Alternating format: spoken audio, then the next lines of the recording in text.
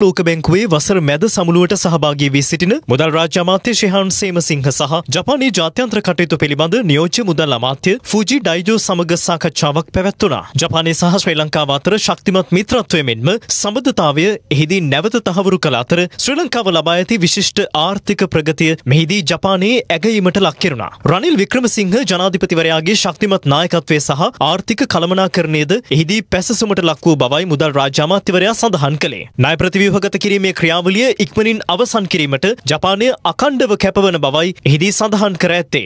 මේ අතර ලෝක බැංකුවේ පෞද්ගලික අංශයට සේවා සපයන ආයතනය වන ජාත්‍යන්තර මූල්‍ය සමායතනයේ කලාපීය උපසභාපති රිකාඩෝ පුලිටි සමගද රාජ්‍ය අමාත්‍යවරයා සාකච්ඡාවකට එක් වුණා. ශ්‍රී ලංකාවේ ආර්ථික ප්‍රගතිය සහ රාජ්‍ය ව්‍යාපාර ප්‍රතිව්‍යුහගතකරණය කිරීමේ වැඩසටහනේ ප්‍රගතිය පිළිබඳවයි මෙහිදී අවධානයට ලක් වුණේ.